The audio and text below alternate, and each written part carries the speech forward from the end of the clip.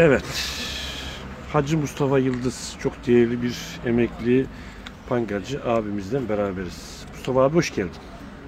Çok teşekkür ederim. Nasılsınız? İyiyim sizlerden sonra. Evet. Uzun zamandan beri e, böyle e, röportajlarımız devam ediyor. Evet. Röportajlarımızdaki konu işte gündem ve insanın kendisi, insana değer vermek. Siz de çok değerli bir insansınız. Hem Vakfı Kebir hem Çok Tonya. Tonya açısından. Çok teşekkür ederim. Sağ Bir de e, işte devlet memurluğu yapmışsınız. Yaklaşık e, zannedersem 34 yıl. Evet. Biraz bu şeyden isterseniz başlayalım. Bu ilk e, iş hayatından başlayalım. Ondan sonra diğer konulara girelim. Mesela ilk Ziraat Bankası nereden başladınız? İlk Ziraat Bankası'na 1979'da eee Rize İkizdere'de başladım. Orta iki yıl kaldıktan sonra eee tayin istedim. Tayinim Tonya'ya çıktı. Eee Tonya'dan sonra Vakfıkebir'e geldim. Vakfıkebir'de değişik yerlerde çalıştım. En sonunda Beşikdüzü'nde emekli oldum. Bu eee, meslek hayatımda eee şu aram şu oldu. Kimseyi kırmama. Herkese elimden geldiği kadar yardım etmeye çalışma. Eee, bunun da karşılığını Allah'a şükürler olsun gördüm. Yani arkadaşlarım, çevrem bu şeyleri bu memnun olduklarını bana hissettirdiklerini görüyorum. Ki bundan dolayı yani memuriyet hayatım iyi geçti. Emeklilik hayatım şu anda işte görüyorsun. Beraber fazla oturuyoruz. Ee, yazdan benim Kayacan köyü, Tonya Kayacan köyü Kıran mahallesinde 2-3 ay orada kaldı diyorum. Ee, fındığımız var. Bu fındıkla uğraşıyoruz. Ondan sonra aşağı iniyorum işte Vakfı Gebir'e. Vakfı Gebir'de benim kendi oturduğum dairem var. Bu da altın evlerde. Küme evlerinde. Hem Evet. Tonya hem Vakfı Kebir e, bir de e, tabii o konuya gireceğim de e, şu Ziraat Bankası'nı bir bitirelim diyorum. Aslında Şimdi e, sizin Ziraat- yani hem Tonya'dan bağlandığınız var hem Vakfı Kebir'le ailece var. Tabii, o konuya tabii. gireceğiz de Ziraat Bankası'nda e, mesela 34 yıl böyle küçük bir anın var mı? Hatırladığın küçük bir an. Şimdi e, Ziraat Bankası'nda şöyle, tabii ilk yerim ikizleri olduğundan e, orada bir, bir hayli zorlandım. Şöyle zorlandım, o zaman oranın e, doğru dürüst yolu yoktu. Ev de yoktu yani kiralama gücün ev de yoktu. Orada BDD'nin bir iş- ardiyesi vardı. Oraya bir yatak attık. Epey orada kaldı. Ama şey olarak yani böyle arkadaşlarım olsun, oradaki çevre olsun. Ben da böyle diğer konuda destek olmaya, yardımcı olmaya çalıştılar. Oradan memnunum. Ondan sonra işte Donya'ya geldim. Donya'ya da sağ olsun benim bir biraz da siyasi oldu Donya'ya gelmem. Bizim O zaman siyaset ergen Yok, o siyasi şöyle oldu. Ee, ben iki yılda tabii oradan dönemezdim. Siyasi olmam nedeni bizim rahmetli Ahmet Uzuner, eski Tonya Belediye Başkanı. Bu rahmetli babamın da arkadaşıymış bu eskiden. Bunun aracılığıyla Tonya'ya yapıldı. Tonya'ya geldim. Tonya'da dört yıl kaldım. Orada memur olarak çalıştım tabii. Şeyde de memur olarak çalıştım. Ondan sonra bu şeyde Vakfı Gebir'de Vakfı Gebir'e tayin aldım. Vakfı Gebir'de vezneci olarak geldim. Vezne'de çok az kaldım. Ondan sonra e, imdana, tabii kurumun imdanı ile beraber şef yardımcısı oldum. O şef yardımcılığından sonra bankanın muhasebesine geçtim. Yani muhasebeyi yürüttüm. İşte gene kısa bir zaman sonra tekrar bir yükselme imtihanına girdik. Oradan şef oldum. O- Ondan sonra muhasebeciliğe geçtim işte. En son çok yerlere müdür olarak da yani böyle e, kısa görevlerde müdür olarak da çok yere görevlendirildim. En son Beşikdüzü Ziraat Bankası'nda müdür yardımcısı olarak yani ünvanım yönetmen olarak orada 5 yıl çalıştıktan sonra emekli oldum. Evet. Ama benim e, 34 yılı böyle tamamladınız yani. tam, tamamladım ama çok güzel anılarım var. Çok da şey anılarım var. Şimdi Mesela- belki şimdi şu sizden uzun sohbet edeceğiz de e, hani biraz kısa kısa gitmek istiyorum ben çünkü benim e, sormak istediğim siz tecrübelisiniz sorular var. E, kamuoyunun aydınlanması lazım. Sizden yararlanmamız lazım yani. O anlamda e, şimdi bir hem Vafkebir hem Tonya Kayacan Göyü, Vafkebir Çaferli Göyü bu nasıl oluyor? Şimdi şöyle benim e, asıl e, dedem Bağdat'tan yani Irak Bağdat'tan Kazimiye mahallesinden e, Çaferbaş'a bu Gülbahar Hatun'un komutanı olarak buraya geliyor ve burada e, biliyorsunuz hani bu büyük bir fırtına olduğundan Gülbahar Hatun şeye e, çıkamıyor tabi. Trabzon'a çıkamıyor. Şe- şeye çıkıyor. Vakfı Gebir'e ve burayı bi- biliyorsunuz. Bak ilan ediyor. Ondan sonra Çaferli'yi de Çaferbaşı'ya veriyor. Çaferli'yi de Çaferbaşı'ya veriyor. İşte onun Mezarı burada mı Çaferbaş'a? Şaferbaşı'nın mezarı burada değil, Rize, Trabzon'da. Rize'de midir? Bir, Trabzon'da şeyde eee, o eski Gülbahar Hatun cami var ya Hı hı. onun arkasında ama tabi oralar değiş, çok kereler değiştirildi ama orada defn olduğunu biliyorum. o Çaferbaşa'nın siz dedenizin dedesi Çaferbaşa'nın Şimdi bu annenin tarafı mı? Hangisi?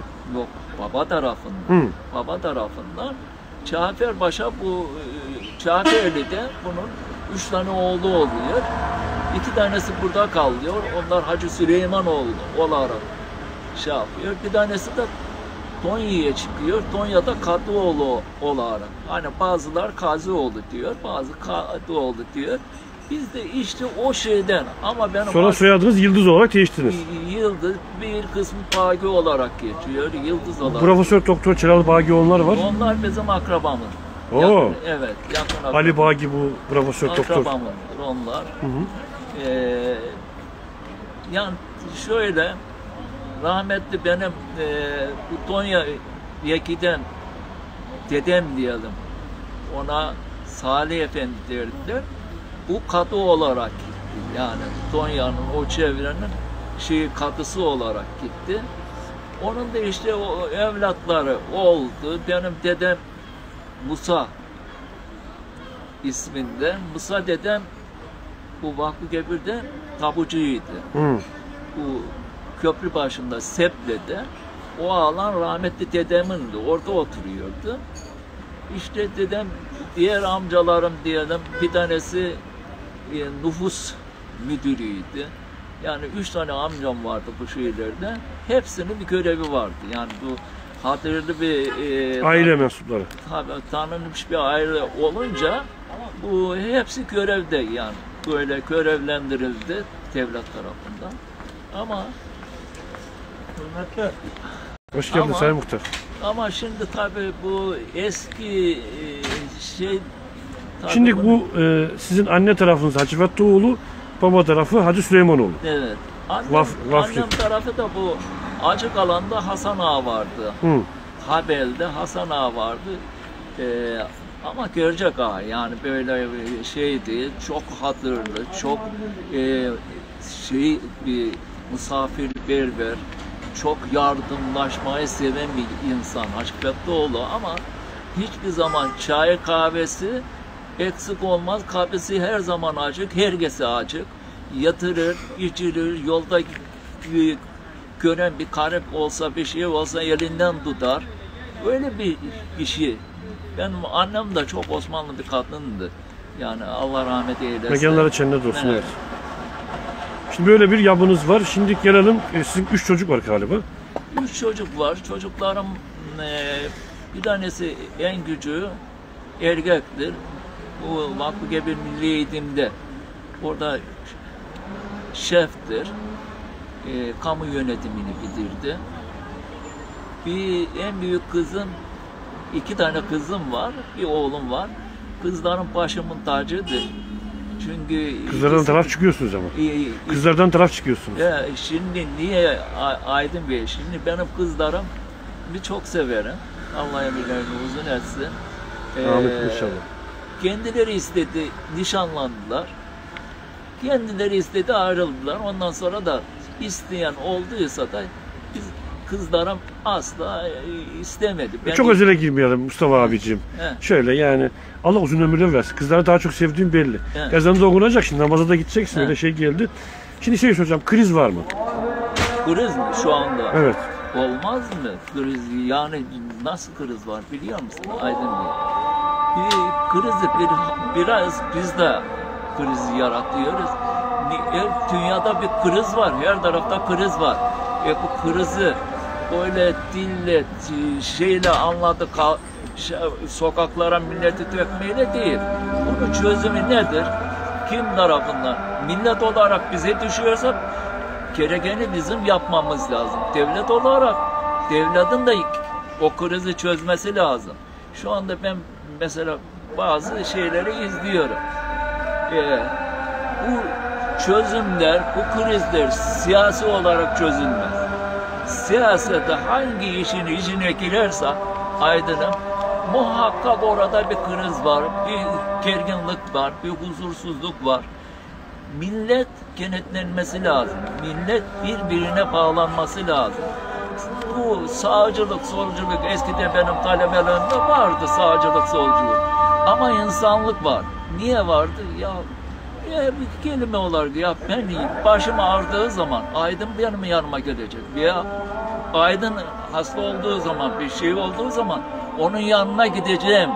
Eskiden öyleydi. Yani bu particilik yoktu eskiden. Şimdi toplumda bir gerginlik mi var? Bir sosyal patlamaya hazır bir sıkıntı var değil mi? Şöyle şunu diyeyim sana Aydın'ım bak. Ee, ben e, vakfı gibi zengin bir yer. Açık olarak açık Evet. söyleyeyim. Niye? Vakfı Gebir'de 14 tane yatağhane var. 9 tane panga var. Hastanesi her şeyi var. Vakfı Gebir böyle şey bir yer. Ama çok pahalı bir yer Hı. bu şeyde. Ve şunu da görüyorum yani Va- Vakfı Gebir'de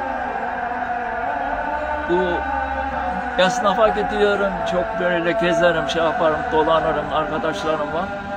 E, bu millette para yoksa bu şeyler marketler olsun şeyler olsun hepsi ana baba günü. Pazara gidiyorsun, pazarda bakıyorsun. Herkes alışveriş yapıyor. Hani biraz da krizi biz şey yapıyoruz. Evet kriz var. Dünyada her tarafta kriz var. Ben mesela eee bir pazara gittiğimiz zaman 100 liradan dükkanla dolduruyor.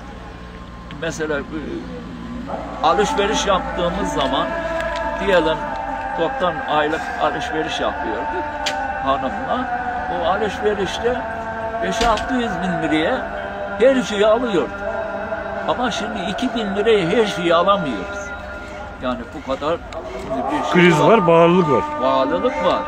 Hani bunu diyecek şu, milletimiz şunu bir defa... Kim çözecek bu, bu sıkıntıları kim çözecek? Biz çözeceğiz. Biz derken yani kurum olarak hangi kurum mesela? Biz vatandaş nasıl çözsün yani? Şimdi bak vatandaş, bu e, ben sana... Bir başkasının yaptığı yanlışlığı, Şimdi- bir başkasının enflasyonu yükseltmesini, bir başkasının eee, yönetim tarzında yaptığı yanlışlıklar niye vatandaş çözsün diyorsun? Şimdi bak, Aydın Bey, şu anda mevcut Türkiye'de partilerimiz var. Bunlar bu, bu memleketin partisidir. Sağ olsun, sol ol- olsun. Onlar mı çözüm üretmesi lazım? Onu mu demek istiyorsun? Şimdi tabii çözümü şu anda onlarda. Niye onlarda? Şimdi Yani bir vatandaş çıkıp da diyemez mi ki yani ben eee, siz bu ekonomiyi bu hale getirdiniz, siz getirdiniz. Sizin getirdiğiniz bu ekonominin eee, sorunlarını çözmek eee maddeleri bunlardı diyemez mi yani? İlla parti mi diyecek yani? Şimdi şöyle. Yani siz fikir ve düşünce olarak veya ben bir başkası diyemez mi kardeşim? Sen yanlış politikalar uyguladın, enflasyonu yükselttin, bu milletin eee, bu hale gelmesini siz sebep oldunuz. Ama benim de bu çözümlerim var. Ancak üretim yaparak biz Şimdi enflasyonu önleyebiliriz. Ben te- başta dedim ya çözüm millet. Bizler, bu millet. Yani sandıktan mı çözüm? Tabii yani şimdi Yapmak abi ister. geldi yapamadı. Yapmamadıysa benim babamın oğlu değil. Evet. Yani benim için yapacak olanı getiririz. Bak dünyada en Ne görüyorsunuz belki şu anda toplumda bir değişiklik olacak mı 2023'te? tabii ama insanlar bizler değişeceğiz. Bizler. Bu değişikliği bizler yapacağız. Görebiliyor musunuz? Yani vatandaş böyle Var, sandıkta görüyorum. bir değişiklik Ve yapacak şunu da mı? Diyeyim, şunu da diyeyim sana. Bu e, şeyi aşacak olan da millettir, vatandaştır. Peki vatandaş böyle bilinçli mi? Pe- Bilinçli mi? Sorguluyor mu? He? Mesela vatandaş sorguluyor mu? Bilinçli mi yani? Bu, bu Bizim vatandaşımız çok bilinçlidir. Çok akıllıdır. Bak samimi olarak söyleyeyim. Evet. Öyle şey görünür ama dünyada ben haçak ettim orada gördüm. En açık, en böyle girişken, en etrafını bilen toplum Türkiye. Türk. Türk. Orada da onu mu gördünüz? Yani Haç'ta O- orada da mesela Haç'ta bir anınızı anladınız. Çok kısa bir anınız. Haçta anam şöyle. Kaç yılında gitmiştiniz? Benim Ki- e, Kaç yılında gitmiştiniz? 2018'de. Allah kabul etsin. Aşağı Küçük bir anınız. zaman yani benim grubum benim öyle şey ki böyle kimseyi incitmeme ama en iyi şekilde yapmak için herkesin önüne geçme. Yani o tarafta bu tabii bir şey var ama bizim grup böyle. Herkesin önüne geçecek, illa böyle şey yapacak. Ee, Orada bir Hindistanlı bir yürüyor böyle geldi. Baktı böyle gidiyoruz dedi Türk. Hani böyle işaret etti. Siz böyle yani adetsiniz, şapıksınız, böyle şeysiniz. Baktım adam bizi takdir ediyor orada. Hmm. Yani Aydın'ım şöyle Orada hissettin onu yurt dışında. Tabii bak bizim O güzel. Hacı abi sürekli konuyu değiştiriyorum. Sürekli soru soruyorum sana. O tamam. Hacılık tamam. iş tamam. Çocuklar tamam. e, günlük kriz tamam. Çocukluğunuzda e, güzel günler olarak küçük bir şey e, bize anlatır mısın? Çocukluğunuzdaki güzellik, e, birlik, beraberlik, saygı, sevgi günümüzde var mı?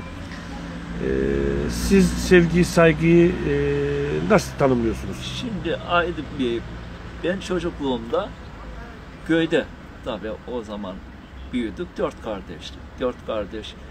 iki de kız kardeşim vardı. Ahmet Ama- abinin dışında iki erkek iki kız mısınız? He, efendim. Ahmet abinin dışında iki erkek iki kız mısınız ya? Yok Ahmet abimin dışında iki ayrı kardeşim var. Onların ikisi de mühendis karayollarından. Onlar erkek mi? Onlar ev, Onların ev- isimleri ne? Bunlar ben e, onları tanıman lazım. Bir tanesi e, Şükrü Yıldız, bu karayolları yap baş mühendisiydi. Bu sahil yolunun ana şeyi oydu. Öteki abim de o, o da Edit Projede. Bunlar yüksek tanı- mühendisi. Tanıyorum. Tanıyorum da hani ben şey anlamında. onları- Şöyle onlara... e, o zamanki çocukluk beraber mi büyüdünüz? Onlarla beraber geçti de o zamanki çocukluğumuz çok farklıydı. Niye farklıydı? Tamamıyla doğalan iciciydi. Yani böyle faz- fazla şeyde eee, insanlar içerisinde fazla olmadığından hani o zaman insanlar tabii arttı o zaman şey yaptı. Mesela ben eee bize Çami çok yakın. Çami'ye gittiğim zaman Çami'nin en arka önüne koymazlar bizi küçüktük. Niye? Ee, Şamil dolardı o zaman. Şimdi bakıyorum o insanlardan bir tane yok. Ama nasıl o insanlar? Ya e, camiye girerdik çıkardık herkes güzel bir sohbet otururdu. Kimse kimsenin aleyhinde değil. Partıcılık yok, bilmem hızıpçılık yok. Hep e, yardımlaşma çoktu. Mesela bir akşam evde rahmetli babamın, anamın e, üst üste üç akşam oturduğunu bilmem. Niye? Her akşam bir komşuda. Onlar öyle bize gelir, biz öyle. Yani öyle bir Sosyal dayanışma vardı. Sevgi saygı vardı. Aşırı derecede. Yardımlaşma vardı Aydın'ım. Hmm. Mesela İmece böyle hani bir belleme yapıyorduk Hmm. diyelim onu. Yardımlaşma. Ee, çayır kesme şeyi. İnanır mısın Aydın'ım? Millet böyle aşkla şevkle geliyor. Şimdi paralan adamı çağırıyorsun kimse gelmiyor ya. Evet. Hacı abi güzel sohbet ettik seninle. Allah senden razı olsun. Şöyle bir Çok izleyici takipçilerimiz de var. He. Şöyle bir el salla bize. He. El salla bize. Ve şunu diyeyim sana. buyur, son- son- buyur. memleketimi seviyorum. Sizi seviyorum. Oo Hacı abi çok Ya. teşekkür ediyoruz.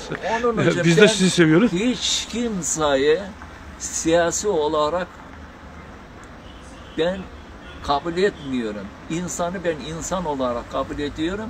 İnsan insana lazım.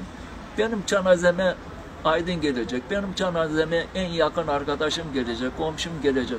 Hangi siyasi gelir benim yanıma? Onun için ben insanı insan olarak seviyorum. Öyle değerlendiriyorsun. Tabii önemli olan Bu güzel insan. kalbinizden dolayı size çok çok teşekkür Mustafa abi. teşekkür ederim. Saygılar sunuyoruz. bir mukabele. Görüşmek üzere. Ve çok teşekkür ederim canım ciğerim. Sağ Yani ol. biz, biz ben öyle hiçbir zaman aydınım şunu diyeyim sana. Ben hiçbir zaman eee, bir parti için veya bir fikir için, bir düşünce için kimseyi kınamam, kimseyi küçümsemem ve yine dediğim gibi aydınım. İnsanı Ben- insan olarak seviyorsunuz. Ben insanı insan olarak Çok teşekkür seviyorum. ediyoruz. Bu güzel kalbinizden dolayı, güzel düşünceleriniz dolayı size çok teşekkür ediyoruz. Saygılar.